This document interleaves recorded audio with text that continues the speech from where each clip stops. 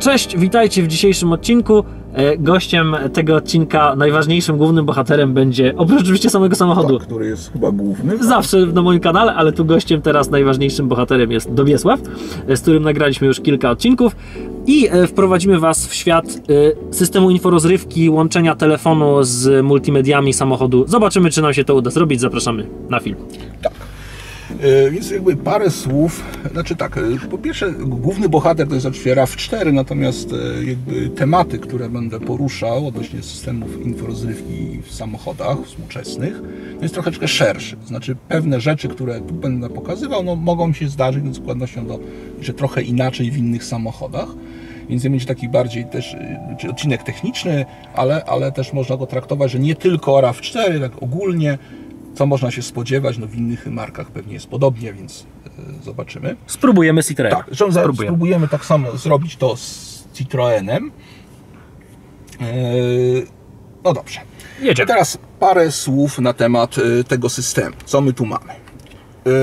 To jest dość archaiczny system. Znaczy według opinii no, siecio, sieciowo-internetowej no, jest to dość taki no, nienowoczesny system. Złośliwie niektórzy twierdzą, że magnetowid stary. Tak. y, Jedna rzecz, która tu jest ciekawa, no nie znajdziemy wejścia na CD. To No jest tak. tak. To już. To, ten, W wielu autach, wiesz. tak, tak, tak, ale jakby to już jakby trochę mówi, że, że niekoniecznie jest to to rzecz y, jakby Na kasetę VHS tym bardziej. tak, te kasety też nie znajdziemy, a moglibyśmy znaleźć Tak. czy coś. Natomiast teraz warto zastanowić, co jest y, pod spodem, bo wiadomo, że fasada systemu to jest jedno, natomiast w jaki sposób taki system jest zbudowany w środku. Y, Z ciekawostek, ten system jest oparty na tak zwanym systemie QNX. QNX jest to taki trochę system używany w przemyśle do sterowania urządzeń. Czyli nie jest żaden Android, żadne jakieś budowane to, tylko porządny przemysłowy standard. Jakby na tym systemie jest wbudowana nawigacja, jest ten system inforozrywki. Czyli jest szansa, że nie będzie się wieszał. I Tak, jak Android. I to jest y, tak. I zwiechy się zdarzają, oczywiście, ale ja pamiętam y, jedną zwiechę i jeden restart na 80 tysięcy No to możemy uznać, że to Tak. praktycznie się nie To wiesz. jest jakby system, znaczy, a jak się nam zawiesi, dłuższe przytrzymanie tego włącznika powoduje restart systemu. O, nie trzeba wyłączać silnika, trzeba nie się- trzeba nie gasić. Nie... restartu- W tym samochodzie nie restartuje się systemu, znaczy inforozrówki wyłączając silnik. Mhm. To robimy w czasie. Znaczy zwykle jest tak, że on jak się zorientuje, że coś nie poszło nie tak, to robi restart aplikacji i nam, Mhm. nam to wraca. I teraz o tym QNX-ie co tu powiedzieć. No jest to stary, stary system, stary standard, natomiast na tyle stabilny, na tyle elastyczny, że w, przem- w przemyśle jest bardzo często jakby wykorzystywany. Na bazie tego oczywiście zbudowano to. Znaczy my tego nie widzimy, tak, no bo to jest wszystko w środku, mamy, widzimy tylko aplikację. Y, Co mamy? Y, No nawigacja. Y, Nawigacja jest dość tak kontrowersyjna. To znaczy, jeśli patrzymy na funkcjonalność, to mamy wszystko, co trzeba. To znaczy tak, najważniejsza rzecz, to co mnie się zawsze podoba w nawigacjach współczesnych, informacje o korkach. Y, Ten, nawigacja jest jakby sparowana z telefonem, jest udostępniony internet w telefonie, ona się łączy i informacje, to jest y, serwis TomToma, są wyświetlane. I to działa. I to działa. I to jest y, odświeżanie, można sobie ustawić tam 5 minut, 10 minut, w zależności jak, jak, jak chcemy. I raczej są to rzeczy wiarygodne, znaczy porównywalne z Google Maps, z korkami Google Maps. Mhm. Więc jest to rzecz fajna. Miejmy nadzieję, że zademonstrujesz nam podłączenie telefonu w dzisiejszym tak, tak, filmie. a, Tak, to, wszystko. a to będzie, to będzie dalej, jak, jak, jak pokażę to. Więc nawigacja jest, znaczy, funk- znaczy funkcjonalnie ma wszystko, co trzeba. Y, Wadą jest y, jakby jej troszeczkę, tak, pierwsza wada mapy. Plus, że to są dwie aktualizacje rocznie, a nie jedna na 5 lat, bo w niektórych markach bywa, że aktualizacje są bardzo rzadkie i stare. W przypadku Toyoty są dwie aktualizacje rocznie. Y, Mapy są jak zwykle stare, bo muszą być tam, nie wiem dlaczego, ale to jest taka tradycja marek, żeby dawać starocie. Y, System nie jest mocno rozwijany, to znaczy zdarzają się poprawki, Natomiast nie jest to tak, że z wersji na wersję mamy zupełnie coś innego. To znaczy są poprawki błędów, no i nowe mapy. Ale płacisz za to, tak? Rozumiem, że Yy, aktualizacja To znaczy płatna. aktualizacje, jak się kupuje nowy samochód przez 3 lata są w cenie, Mhm. Yy, później trzeba kupić, yy, przy czym bywają promocje, to jest 1000 zł na też 3 lata Mhm. i cena obejmuje aktualiz- te aktualizacje plus dostępność do tych serwisów, bo te serwisy ruchu drogowego i jeszcze tam parę, o których zaraz tam pokażę, one są płatne. To znaczy są w cenie, w cenie nawigacji, w cenie aktualizacji którejś. No ale oczywiście nawigacja jako taka jest no, jakby do, do, yy, no nie bezterminowa. Yy, No dobrze. Teraz, co jest złego jeszcze w tej nawigacji? No niestety algorytmy liczenia trasy, szczególnie takie, jakby ja mówię, algorytmy, które odpalają się w sytuacji, kiedy zmienimy trasę samoistnie. No nie, coś zauważymy, że ta trasa nas nie pasuje, zmienimy tryb. Tu się zdarza, że po 5-6 kilometrach on nas zawróci z powrotem. To nie jest, w niektórych nawigacjach jest tak fajnie zrobione, że y, po prostu zmiana trasy to on jakby zamyka tą drogę, że tam coś nie jest. Tutaj można oczywiście zablokować odcinek, ale muszę to robić. W poprzedniej nawigacji miałem tak, że po prostu zjechanie z trasy oznacza, że ja tam nie chcę jechać i znajduję Tak, szuka lepszej ob- objazdu Tak, ale- tego fragmentu. Ale tak, szuka objazdu, a nie nawrotki po 5 kilometrach. Czyli może się tak się zdarzyć, że jest fajnie, że znalazł, ale później jest zawróć i No wraca tak, z to, powrotem. męcz, to upierdliwe, Jest to bardzo męczące. upierdliwe, ale to jakby jeszcze jest nic. Jeszcze większa upierdliwość jest tak zwana związana z regulacją głośności. Znaczy jest to typowy przykład systemu, jak nie należy programować aplikacji. Znaczy logicznym jakby y, sposobem regulacji głośności jest to głośność per kanał. Tak. Po prostu. Nic bardziej błędnego. W przypadku Toyoty nawigacja ma wartość względną ustawienia y, głośności audio, przy czym głośność audio jest stała na wszystkich. Aha, Gorzej się nie da. to rzeczywiście. Natomiast jedna jest taka poważna rzecz związana z tą regulacją głośności, że y, nie można jej regulować, póki nawigacja nie gada. Mało tego, potrafi zaryczeć, czyli jak mamy źródło ciche, zwiększamy sobie głośność, to mimo wszystko zwiększamy też głośność nawigacji. Więc tu mamy wysoką głośność w radio, a to jeszcze nam ryknie. No nie, to strasznie Bez sensu. bez sensu. No to tak. co robi żona? Skręca głośność. I tak potrafi skrę- skręcić, że mi wyłączy głośność. Mhm. I teraz z poziomu zewnętrznego nie można tej głośności podkręcić z powrotem. Żeby to zrobić, trzeba wejść w menu ustawienia. Więc ergonomia no, słabiutko. Więc z jednej strony fajnie, z drugiej strony jest. Jest to ograniczenie być może wynikające z tego systemu właśnie, o którym mówisz, nie? Nie, nie. Czy to po prostu jest Nie, kwestia nie. niedopatrzenia z tej strony, jak myślisz, Japończyków? Znaczy ja bym zwolnił kierownika projektu. Aha. To jest moja, moja opinia. Znaczy jakby ktoś mi, ja też się informatyką zajmuję, jak ktoś mi takie coś przyniósł, to Po japońsku to się daje miecz. Tak, to tak mniej więcej powinno wyglądać. Nie, to jest, to jest błąd projektowy. Absolutnie błąd projektowy. No dobrze, to nawigacja. No dobra.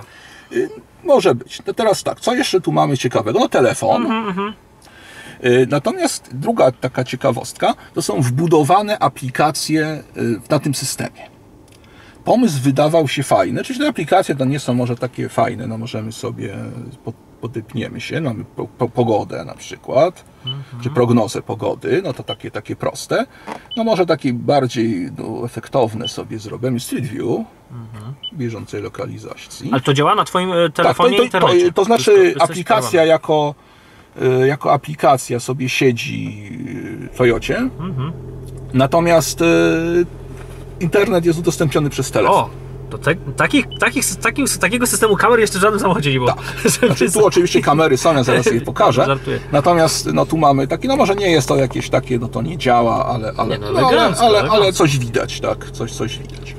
Yy, No, tu są jakieś takie typu parkingi, paliwo, yy, natomiast te ceny podobno są raczej takie sobie. Natomiast no, fajna jest rzecz, że Mhm. to jest zintegrowane, że możemy sobie wybrać stację paliw, yy, ona jest na mapie, możemy w nawigacji go To jest zrobić bardzo fajne, że sobie. to jest klik, klik i już tak, masz. Jest tak, tak, tak. To jest taka, taka jakby szukajka. Mhm.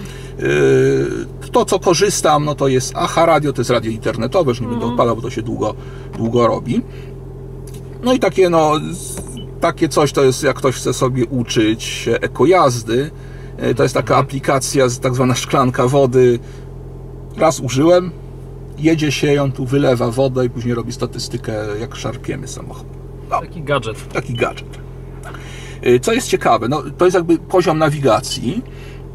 Y, Natomiast druga rzecz, to może wejdę, to chciałem pokazać. A, bo chciałem pokazać te wykresy. No to już jak żeśmy pokazywali. Y, Zużycie energii, no to jest ten, ten dialog.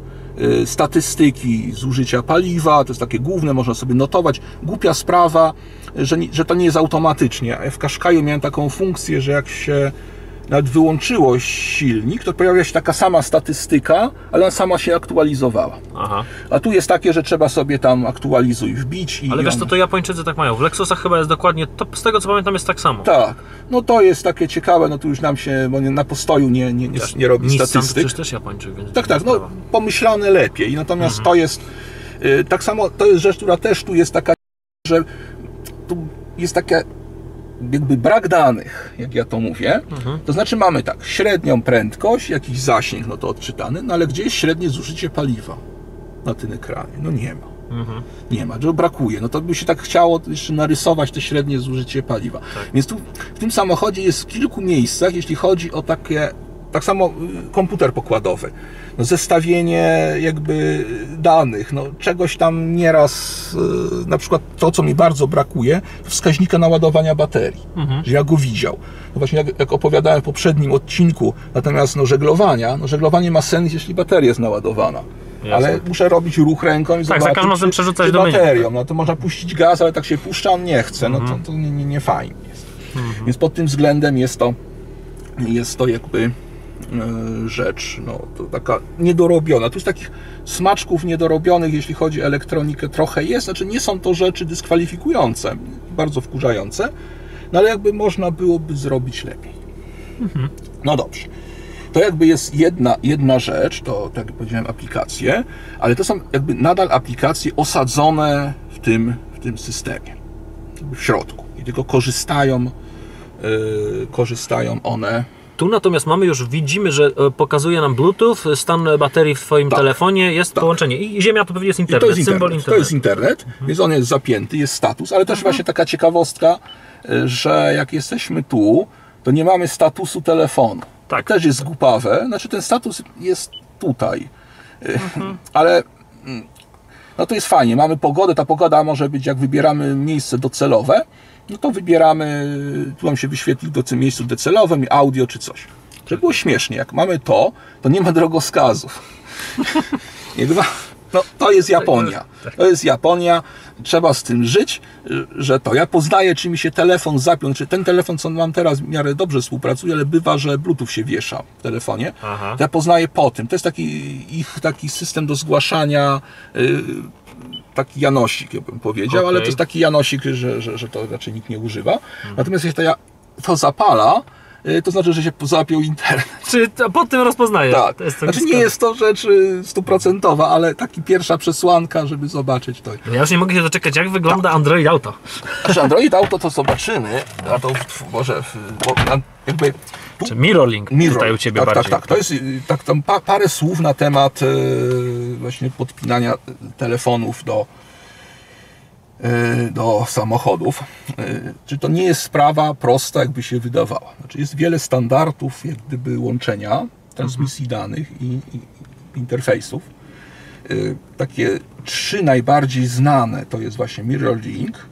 Y, To najstarszy, to jakby system, który został opracowany przez pewne konsorcjum firm od sprzętu elektronicznego, czyli tylko po tej stronie i telefonicznego, po, po tej jakby po stronie telefonu.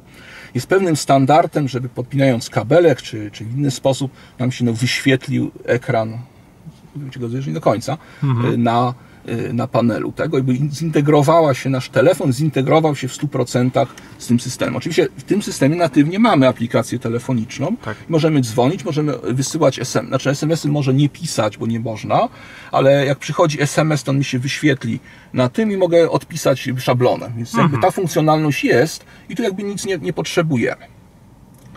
Yy, więc jakby ja- jak się integrować, tak? Czyli jedno będzie to, co będziemy robić, to po kabelku, ale jest jeszcze jeden taki może ukryty gadżet gło- głosowe. Znaczy, nawigacja w Toyocie ma dwie wersje. To jest ta wersja taka niższa, tak zwana, no, to jest Toyota Touch Go i Toyota Touch Go Plus, ta lepsza. I w lepszej wersji jest yy, umieszczona jakby sterowanie głosowe, budynki i Wi-Fi. I w zasadzie tyle. W tej wersji uboższej ty- tych rzeczy nie ma. Nawigacja jest taka sama. I został taki guzik, więc spróbujemy go troszeczkę nacisnąć i przytrzymać. Jaka jest pogoda w Poznaniu? W Poznaniu mamy teraz 7 stopni i częściowe zachmurzenie. Dzisiaj mamy częściowe zachmurzenie, najwyższa prognozowana temperatura to 8 stopni, najniższa minus 1 stopień. No i powiedział.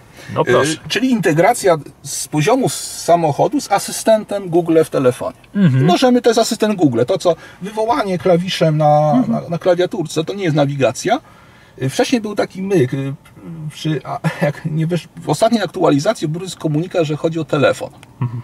Żeby Japończycy chcą inaczej zrobić. Jak nie, przed ostatnią aktualizacją, jak wcisnąłem ten guzik krótko, wyświetlało się funkcja głosowa niedostępna. Aha. Oczywiście puściło się guzik to. Dwie sekundy przytrzymanie, wchodzimy na telefon. Tak, żebyśmy nie było za łatwo. Nie da się inaczej zrobić, ale takie jest życie. Tu w technice, to jak ktoś się zajmuje techniką na co dzień, to jest jeden z najmniejszych problemów. Są gorsze. No dobrze.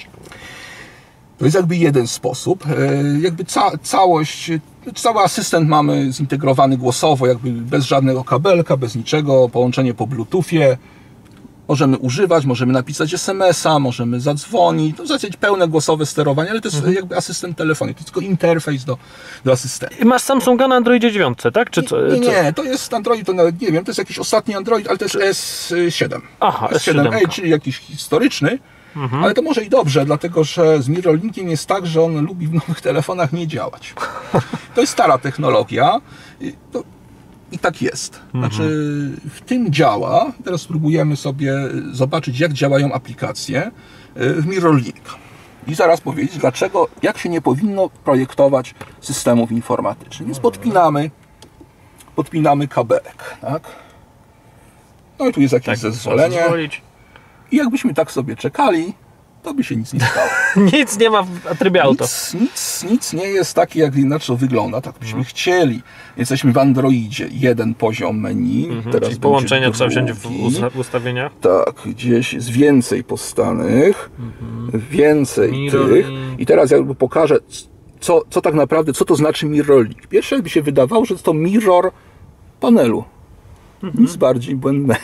No proszę. Y, Mirroring oznacza mirrorowanie wybranych aplikacji. To jest lista aplikacji, które, no to są takie, ich jest, w sumie jest około się 50 może, czy coś. To nie jest jakieś coś, to są takie moje aplikacje, które po pierwsze działają, po drugie uznałem je za, za jakieś tam y, bardzo, no, czy przydatne. No, nawigacja Sigic, o, uciekło mi. Nawigacja Sigic to jest na, jedyna nawigacja, która działa z mirrorlinkiem wprost. My zrobimy tak, że z Google odpalimy też przez Mirrorlinka, ale zrobimy to bardzo, bardzo naokoło. No, audioteka, tryb taki samsungowy, ma, mało używany, taki do, taka aplikacja z parkingami, to, be- to o tym będę opowiadał. Ten Glyps to, czy to coś, to jest takie znaczniki, można sobie ustawiać. No teraz to sens tej aplikacji jest niewielki. Można udostępniać swoją pozycję na przykład. No i to co teraz zrobimy? No zrobimy tak. No i coś się tam porusza. No i tyle. No i teraz trzeba wrócić i mamy dodatkowe menu. Mirroring. I w tym menu mamy aplikacje. Ale te aplikacje to są dokładnie te, które Tak są na telefonie. To nie są aplikacje osadzone w tym systemie interozrywki, tylko jest zupełnie coś z boku. No dobrze, no to spalmy sobie nawigację. Tak? No to trochę trwa i mamy nawigację. Nawigacja tak naprawdę pracuje na telefonie. Tak. To jest wersja Sigika, wersja komercyjna, ona kosztuje, e, natomiast ona funkcjonalnie jest, e, no, jakby poru, znaczy kosztuje niedużo, to jest jakieś 200 zł, czy, czy tak mniej więcej, dużo promocji nieraz daje, można wyrwać w dobrej cenie. Zaleta jest taka, że, że to jest jedyna cena, to jest aktualizację mam, mamy dożywotnio, więc już nie ma. Na są, są informacje o korkach, to funkcjonalnie jest to dokładnie to samo. Mówisz niedużo, ale pamiętaj, że Google Maps jest za darmo. Jest za darmo. to jest tak. też, e, Ale Google Maps y, nie wspiera Mirrorlinka. No właśnie. Bo wsparcie Mirrorlinka tak naprawdę y, to nie może być dowolna aplikacja. To musi być aplikacja jakby certyfikowana przez konsorcjum, które zarządza Mirrorlinkiem. Biznes, po prostu Biznes. biznes. Za odpowiednią opłatą. Tak jest. Tak samo podobny sposób rzecz się dzieje y, w przypadku y, tych aplikacji osadzonych. I też jest, jest te, co tu widziałeś, to są wszystkie aplikacje, które są dostępne Tak. w sklepie Toyota. To jest porażka biznesowa. Y, Dlaczego tak się robi? No, żeby wejść na tą platformę, trzeba zapłacić pieniądze. Nikt tego nie robi. Tak. To, to nie jest, znaczy to można było zrobić na zasadzie, zróbmy, dajmy, tak jak na telefonach, dajmy aplikację w sklepie, ludzie kupują, podzielmy się z Toyotą, a nie zdaj, w inny sposób. Znaczy tam nie jest jakaś taka, taki chyba taki kojot, to jest taki odpowiednik Janosika, Y, no bo jakieś 400 zł rocznie kosztuje abonament, więc chyba nikt nie kosztuje. Janosik za darmo, Gogo za darmo. Właśnie, kto się będzie bawił w takie rzeczy? Natomiast jakby, no dalej to jest normalna nawigacja, że stąd wyjdę. No i tam wr- wrócimy sobie. Jakby to jest jed, jed, jakby, no tu, tu jest też y, technologia, tak? No już jak albo jedno, albo drugie, no nie można, nie można było mieć dostępu. Więc jakby to, no teraz e, spróbujmy zrobić coś innego, no ale y, no, spróbujmy no, Google Maps zobaczyć, tak, no bo Google Maps, ja tu trochę sobie przygotuję telefon, żeby mi wynikło, bo to nie jest sprawa prosta. Y, No Google Maps nie jest e, y, certyfikowane pod Mirrorlink. Nie rozumiem Google, dlaczego tak zrobiło i jak i większość programów nawigacyjnych oprócz Cygika w ogóle nie poszła w tą stronę. Jest to ciekawe, no faktycznie Mirrorlink jest technologią zapomnianą. Teraz Android Auto, czy, czy CarPlay, czy Tak. coś takiego, to są top y, i to idzie, natomiast no, dziw, dziw, dziwi troszeczkę, że tego nie ma. Więc teraz zrobimy coś, żeby jednak zobaczyć e, te Google Mapsy, ale to będzie tak zwana rzeźba.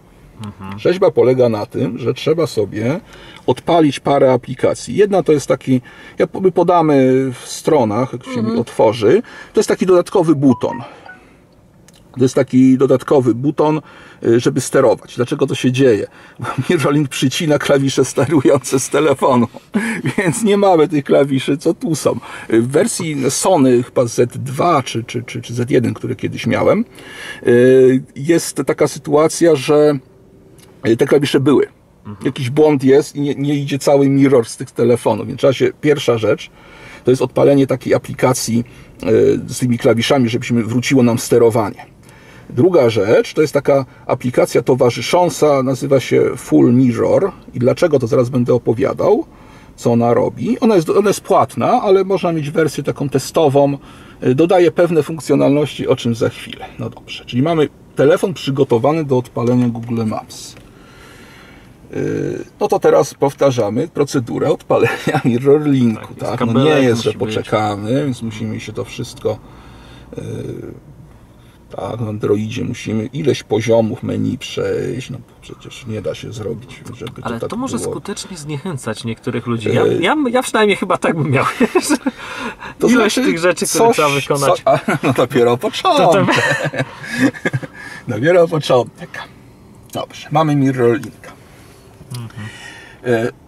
Jest taka fajna aplikacja LG Mirror, Mirror Drive. Przy czym jest to aplikacja działająca na telefony LG. Czym to się objawia? Ano objawia się czymś takim, że wychodzi wielkie okno dialogowe, które zasłania całą resztę. No i koniec. Jak nacisnę OK, tam rozłączy.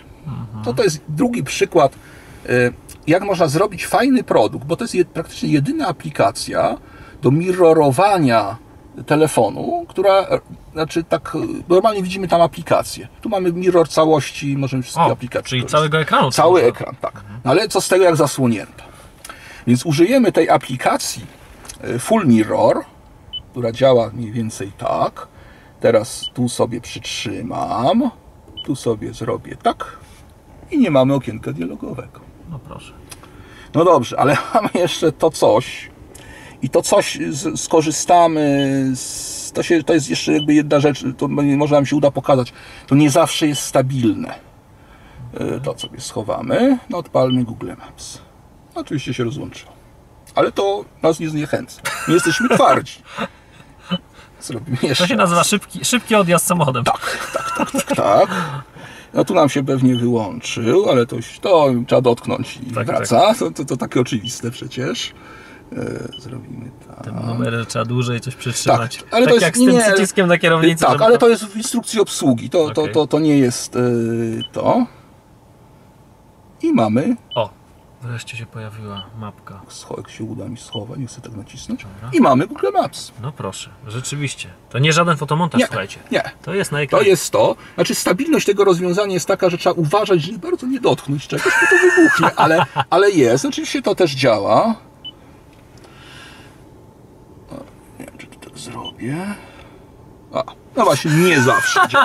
Chyba jednak Tak, tak. uchwyt i telefon na Tak, kratce tak, tak, tak. To znaczy, tak, rozwiązaniem. znaczy to, tu jest taka ciekawostka, jak gdyby stabilność tego jest słaba. To znaczy, Mhm. to nie jest, y, nie, tak trochę ten, ten kawałek jest y, taki na zasadzie jak wyrzeźbić, że się da, y, ale no, sami widzicie, lekko nie jest. Ale ogólnie daje się. Co ciekawe, ze sklepu Google Play'a y, można zaciągnąć Nie zawsze się udaje. Albo on, nie, ja tu naciskałem ten, tylko mi nie zapiszczał. Akurat pasuje do frazy. Akurat, Fraza pasuje. Dokładnie, bo mówiłem, że jednak zadziałało. Zadziałało. Tylko z opóźnieniem. E, Natomiast to jest działające. Poprzednia wersja tej aplikacji LG Mirror Drive była o tyle fajniejsza, że nie było tego okienka dialogowego, który blokuje ekran i ona faktycznie działała. I te wszystkie kroki z full mirror, y, tym, tym, no to był taki kawałek y, do jak gdyby no, niepotrzebny i to faktycznie działa. Tu jest jeszcze jedna plus, y, że ta mapa działa podczas ruchu. To wcale nie znaczy, że aplikacje, które nie mają certyfikatu, będą działały po mirror linku, jeśli są w ruchu. Czyli y, na przykład w takiej sytuacji można się potknąć, można mieć mirror ekranu, włączamy Google Maps, ruszamy samochodem, mówi nie, nie, podczas ruchu, to ty się zabijesz, jakbyś patrzył na tą nawigację, nie wolno. Musi być certyfikowana aplikacja. I oczywiście w cudzysłowie. No to teraz zmieniliśmy autka, jesteśmy w Citroenie C4 Cactus i będziemy ponawiali procedurę podłączenia. Podłączania. Tak. Tak. yy, Pierwsza uwaga na temat, y, znaczy jakie tu mamy systemy. W Rawce jest ten stary system MirrorLink. W Citroenie mamy dwie technologie do wyboru. Jest Android Auto i, i MirrorLink i chyba CarPlay. Nie wiem, czy, czy dobrze zauważyłem. Tak, Apple CarPlay i, też tak. Czyli w zasadzie wszystkie współczesne metody łączenia. Yy, Na tym telefonie mam zainstalowaną aplikację Android Auto. Tu jeszcze taka yy, ważna uwaga. Android Auto jako usługa Google nie jest dostępna na terytorium Polski. Ze sklepu Google Play nie dostaniemy aplikacji, więc my musimy się troszeczkę postarać i z jakiegoś mirrora aplikacji ściągnąć Android Auto i zainstalować. I tyle. I ono będzie działało. Yy, Znaczy, wst- wstępnie to jest to, co się działo jakby poza kadrem. No ja próbowałem się skonfigurować, tam trzeba było kilka magicznych rzeczy zrobić, żeby to zadziałało. Tak, kilka minut próby było potrzebne. Tak, tak, to szkoda było na to pokazywać, bo są jakby różne kombinacje. Jedną istotną rzeczą było włączenie, wyłączenie kabelka i wtedy wszystko poszło, jak to zawsze dobra, bywa. no podpinamy. Więc podpinamy kabelek tak samo, no gniazdo jest podobnie Oczywiście. I mamy Wywołało nam, automatycznie samo nam wywołało e, to Tak, menu przed chwilą menu. i teraz I zobaczymy Android Auto. Klikamy Android Auto. Jak widzicie jest zainicjowane, tak, łączenie w toku. Tu nam się pojawia coś na Tak, tryb samochodowy, Android Auto, no i Android Auto nam wyskoczyło. tak i mamy e, tu Tak. Już Czyli też- standardową, standardową Możemy rzecz. kliknąć dom, tak, czy Tak, tam to jest taki, załóżmy, Dobra. dom mój gdzieś, no i mamy nawigację Google. Elegancko I pewnie będzie działała. Tak. Czyli tu jakby sprawa, nie robimy magicznych zaklęć, trzech aplikacji Tak. towarzyszących dociskami wybucha. Tu mamy na A telefonie. tu mamy na, na, na telefonie też Android. I teraz możemy przejść do e, nie Android Auto, tylko do MirrorLink, tak? Teraz możemy spróbujemy zrobić, e, nie wiem czy tam można wyjść w jakiś Ale to sposób, najprościej ale co ja mam taki sposób, jak to informatycy robią, jak wyłączyć system. No, oczywiście wyciągnąć gniazdko y, z zasilania i to na pewno wyłączy system. Każde inne próby mogą być Najprostsze metody, najskuteczniejsze. tak. Y, Tak samo jak było. Y, Też. To się nam zgłasza y, menu, no i Klikamy wybieramy mirror, mirror. jak widzicie Tak, jest tu się łączy, tu się. I tu jest już łączenia. fajnie. Zwróćcie uwagę, że ja tu nic nie naciskam, nie Tak. robię żadnych dziwnych ruchów. O, I pojawiło się menu. Wszystko tak. I to jest na takie menu, które było w rawce, żeście mogli obejrzeć. I, ale O, nie mamy tu właśnie Google, bo to o czym mówiłeś, tam był, bo jest Tak. Android Auto, a tu mamy Mirrorlink, czyli możemy sobie Sydzika Możemy tylko Sydzika, kliknąć. dlatego że to jest tak, tak jak opowiadałem w przypadku Rawki. Yy, Tu działają tylko yy, aplikacje certyfikowane. Mhm. Google Maps nie jest aplikacją certyfikowaną Mirrorlinka, dlatego tym menu nie zobaczymy. Pewnie ten sam jakby zadziałał, gdybyśmy zrobili całą procedurę ponowienia z tym, z tym twoim sposobem, żeby Yy, wywołać. Można spróbować, ale tu nie wiem, czy to, to będzie to. A możemy zobaczyć, tak? Jak mamy jeszcze troszeczkę. Jeszcze jak nam wystarczy czasu. energii. Tak, To jak co, nam trzeba wyjść, tak? e, Wychodzimy? to Stąd trzeba. Nie, nie, to. To walniemy. E, gdzieś tu jest wyjście menu może.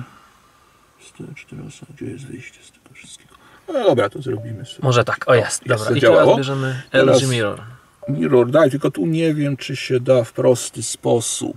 A może tak zrobimy. Ja tu mam schowaną aplikację tego. No, no to tak to jest. To nic nie poradzimy. No jak już sprawdzamy, to sprawdzamy na Tak, to sprawdzamy cały system. Tu mamy tak samo. O, ciekawe. A to jest nawigacja, tam sieci nam. Tak. Okej. To trzeba będzie troszeczkę inaczej jednak zrobić. E, Jak tu zrobię te. No, a to nie jest powiedziane, to nie jest dobry sposób na odpalenia. I mamy. I proszę, udało Czyli, się.